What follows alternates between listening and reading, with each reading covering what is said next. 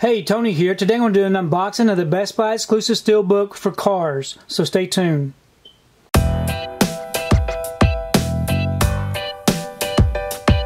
So today I received my copy of Cars in the mail. This is the Best Buy exclusive 4K steelbook. Got a really nice image on the front. Now this does get released on, on September the 10th. I did get it early, so I wanted to take time to show you what it looks like. It does have quite a bit of special features. If you'd like to go ahead and pause and check those out, you can go ahead and do so.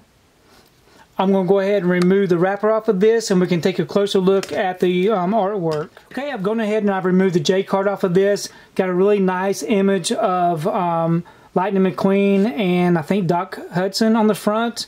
I really like the way that they have this embossed title and this red.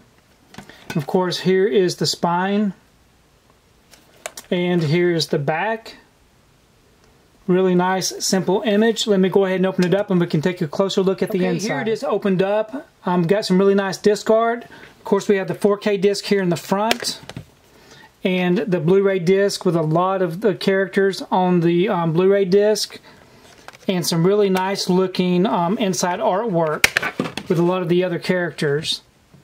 I really like the way that this one looks. And of course, I really like the reds on this one. Okay, I've gone ahead and I placed my steelbook inside this protective bag. This bag will help keep it protected from getting scuffed up on the shelf against the other steelbooks, plus um, help it from getting so many fingerprints on it. I do have a link below if you'd like to check that link out of where I purchased these bags from Amazon. I also wanted to take time to show you some of my other cars steelbooks. This is a Best Buy exclusive um, steelbook I got several years ago. I really like the image on this one. And then I've got a Zavvi exclusive 3D steelbook with another really nice image.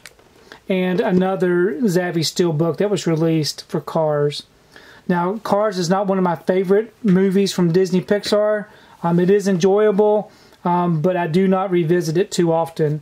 Please leave me a comment below. Let me know if you enjoy the Cars movies. Uh, maybe which one of the Cars movies is your favorite.